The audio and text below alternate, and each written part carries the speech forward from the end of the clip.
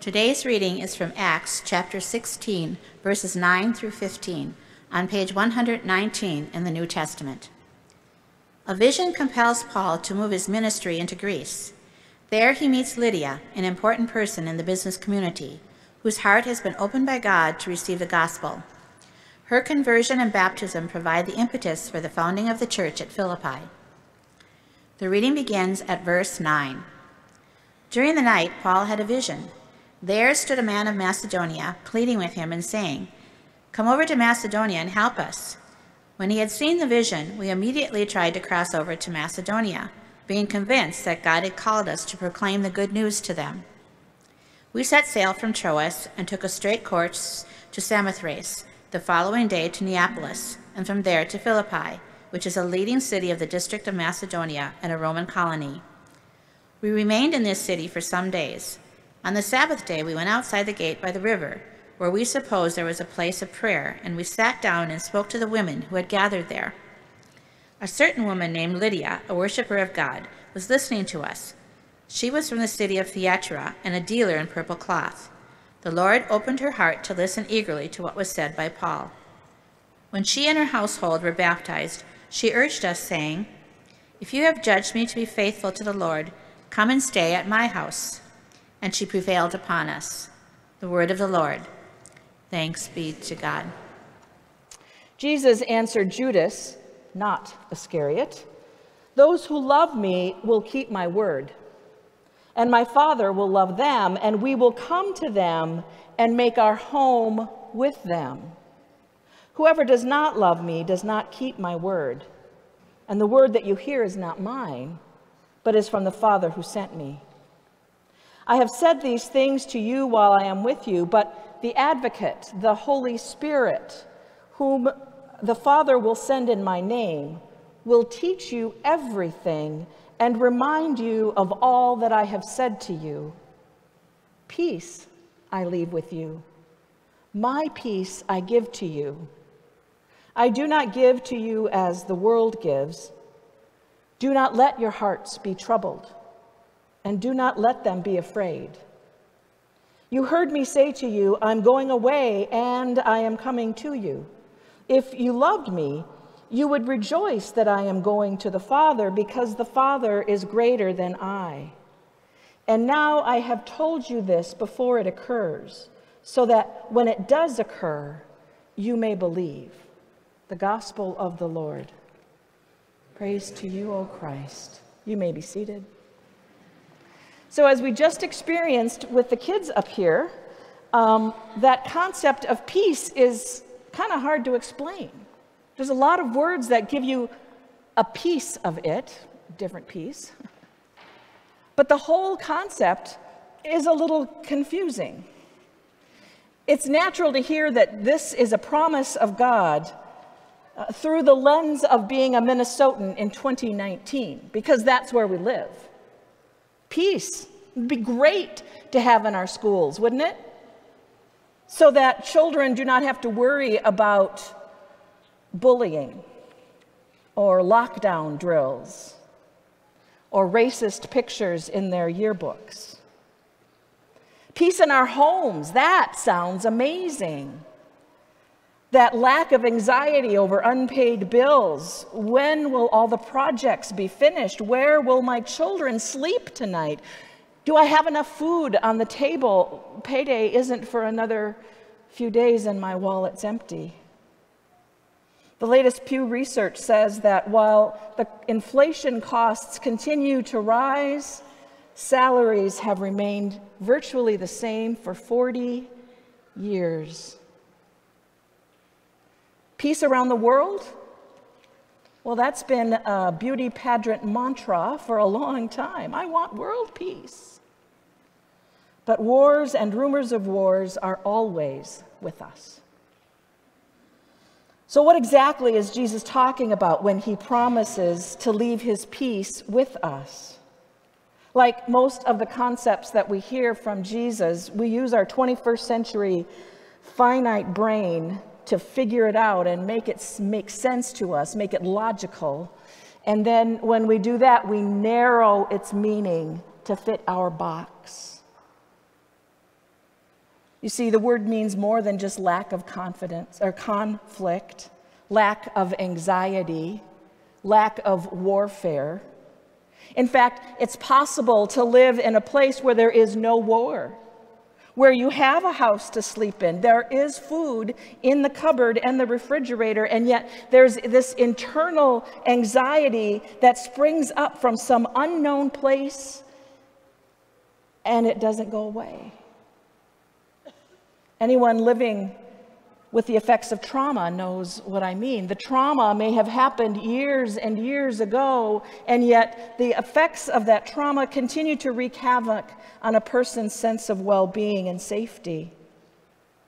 It's possible to live with extravagance, to have more money in the bank than you know what to do with, and yet you still live with this inner sense of anxiety that comes from grief or depression or living with addiction, being emotionally or physically bullied, coming from a society where the color of your skin or the clothes that you wear or the place that you worship is continually dehumanized and devalued and diminished. That creates anxiety and a lack of peace. You see, when Jesus says, My peace I leave with you, he's talking about all of that and so much more just wiped away, gone. That's called shalom. We don't have an English word for it. Shalom is more than just a temporary state of feeling uh, at ease with whatever situations are going on now. Shalom is a way of life. It's not the lack of conflict. It's being complete in God's eyes. It's being wholly, completely who God has made you to be right here, right now, despite the circumstances in and around you. Why don't we get that? This is a promise from 2,000 years ago, and yet we continue to live in fear and anxiety and have that lack of peace. And I think it's because we've intellectualized it way, way too much. The lesson we just heard Nancy read from the book of Acts is about a woman who lived 2,000 years ago who owned her own business, who had her own household her name was Lydia, and she was a dealer in purple cloth. I don't know if they had tie dye back then, but you know, those of the rest of you wearing purple today, she thanks you. So there are a number of women in here and men who love them who have done some pretty amazing things in our culture, broken through what's called the glass ceiling worked in places where they were told, you know, that's really not where you should be as a woman. And whether those words are said explicitly or just implied, you know it when you hear it. We have the Me Too movement. We have the, the push for equal pay for equal work.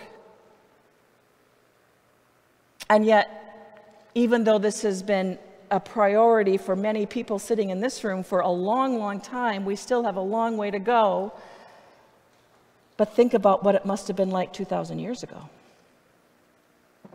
Because 2,000 years ago, women not only uh, were not named often in Scripture, the fact that we even know Lydia's name says a lot. but they didn't have power or influence. You couldn't even speak to them. They couldn't speak to you if you were a man in public.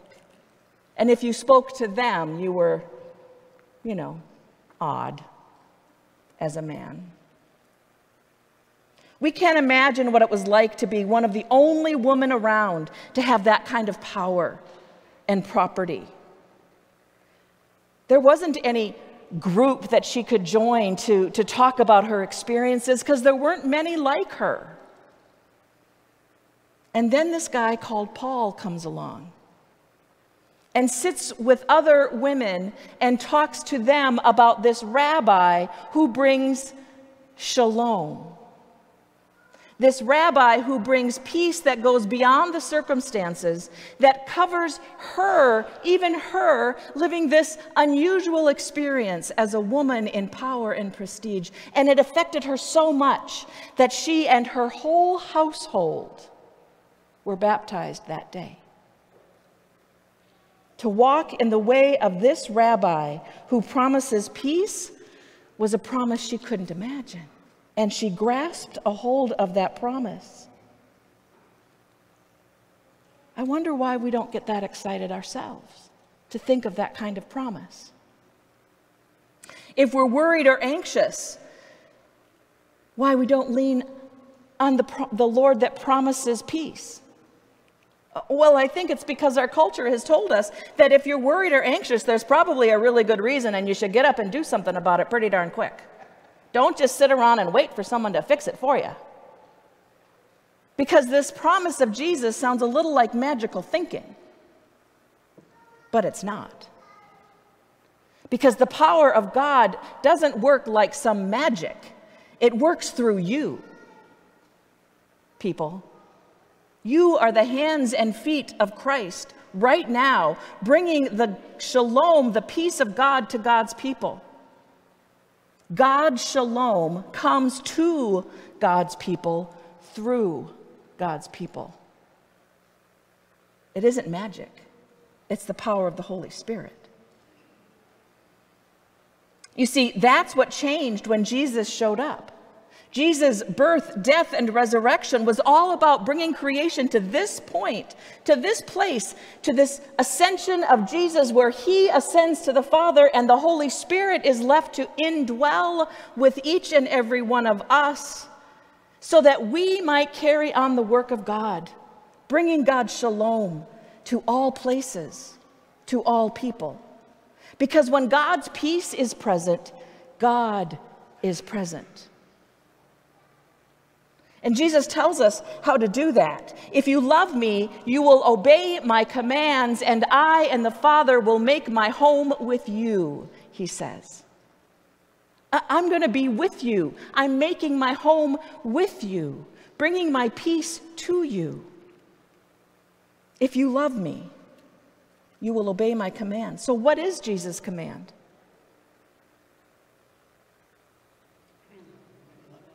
Love one another. Hello? He said, Love the Lord your God with all your heart, all your soul, all your mind, and love your neighbor as yourself. That's it. Love. It's that easy, and it's that hard. Love is not this mushy word that's just all about emotion. Love is a verb, it's action, it's getting to work to make sure that your neighbor is loved so much that whatever anxiety or fear is causing them to stay awake at night is taken care of through you. A letter that John wrote, 1 John, the fourth chapter, he says this perfect love casts out all fear. What a tool. Love is the most powerful tool that God has given us. To love and follow Jesus' command to love your neighbor means a whole lot more than just Minnesota nice. It means that you and I and all of us, Bethlehem, will do whatever needs to be done to see that our neighbor has a roof over their head, has food on their table, has access to health care. They're not alone. To follow Jesus' command, you must love your neighbor as yourself, means you will work for change within the institutions of our culture that bring dehumanizing effects of racism and sexism and whatever ism is because these are built in to our systems. And so we have to work to get it out so that all people are treated with dignity and love and have the shalom of God. You're already doing it. Bethlehem. When you visit your neighbor who can no longer attend worship or other social functions, you're helping to remove someone's loneliness and usher in some shalom into their life. When you spend time or resources assisting Catholic Charities Food Shelf, as Bethlehem is doing during the month of May, You help alleviate the fear and anxiety of homeless of hunger for someone and usher in God's shalom for that family.